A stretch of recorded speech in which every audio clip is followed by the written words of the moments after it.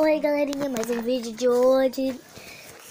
Só que eu ainda vou postar diferente Só que nós vamos usar as mesmas coisas que nós usamos aquele dia Hoje é hoje, quer dizer Que eu acabei de postar meu vídeo De como estragar as coisas né, Que vocês devem já ver.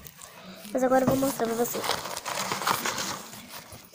Vocês não tem uma caixinha de leite vazia? Se vocês tiverem Pega um grampeador Pega umas coisinhas assim, ó Bem simples, olha.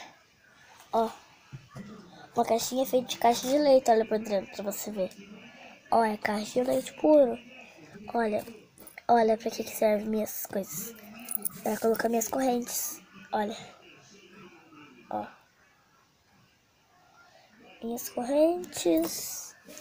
Minhas duas correntes, né? Mas pra quem, pra quem acha que eu sei que você é muito rico, meu Deus, eu sou rica, não preciso fazer as coisinhas com caixa de leite. Não! Mas não é por ser riqueza, é por querer fazer, pra ser interessante, é uma coisa que a gente mesmo pode criar.